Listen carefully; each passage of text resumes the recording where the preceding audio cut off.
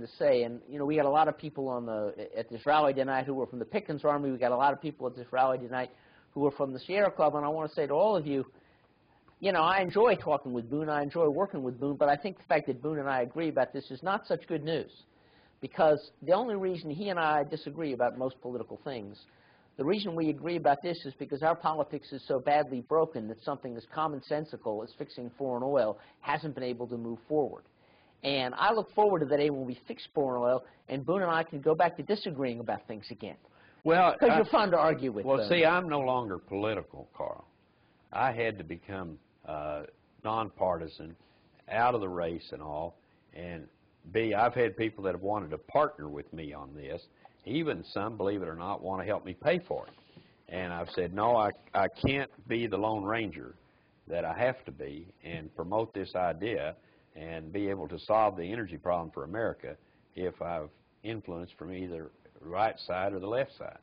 So I'm right down the middle road, believe it or not. Yeah. I may not ever get in politics again. Well, that's uh, that's one of the questions that was asked. One of the viewers asked, "Have you thought about getting involved politically in the presidential race?" You've answered this one.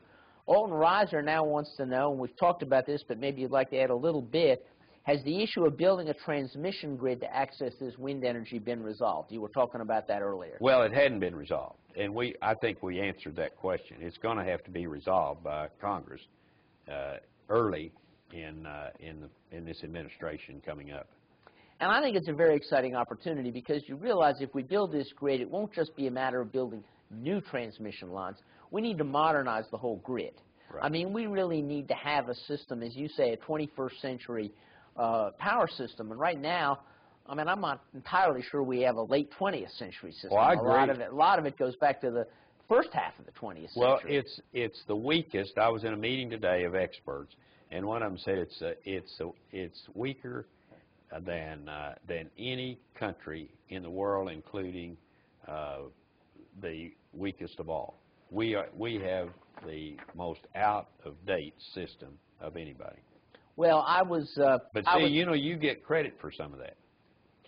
I get credit for some of that. Sure, they people tell me said, you know, Carl Pope, Sierra Club, they won't let any of this happen. They won't let you have a grid. You know what I'm talking about. You they've stuck you with with some of the the Well, you know, I've been I've been executive director of the Sierra Club now since 1993, and I have to approve every single intervention we take to sue against the public facility.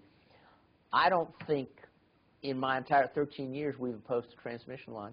But that is, Carl, that is the image of the Sierra Club.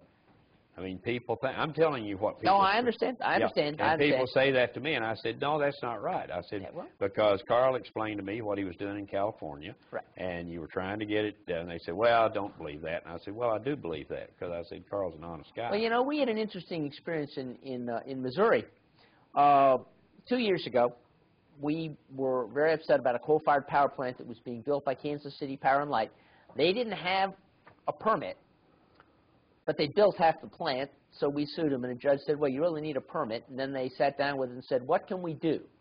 And we said, "Well, look, go ahead and finish your plant, but commit to a bunch of wind." I can't read it. commit to a bunch of wind in addition, and then let's work together going forward to get Kansas and Missouri green power. They agreed to that.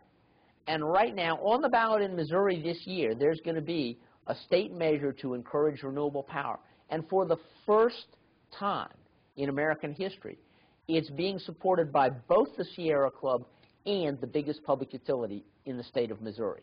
That's pro- that's progress. That is real progress. What is it going to be, 20%? It's 20%. It's Okay. 20%. Do Uh, you not think that that's going to happen on a federal level? I think that's going to happen on a federal level. We were one vote short on having it happen at a federal level this year, and I think in the next Congress we'll get it done. I think that will be a very rapid, that'll move through the Senate and the House, I think in the first 100 days of the next administration. That'd be good. That'd be good.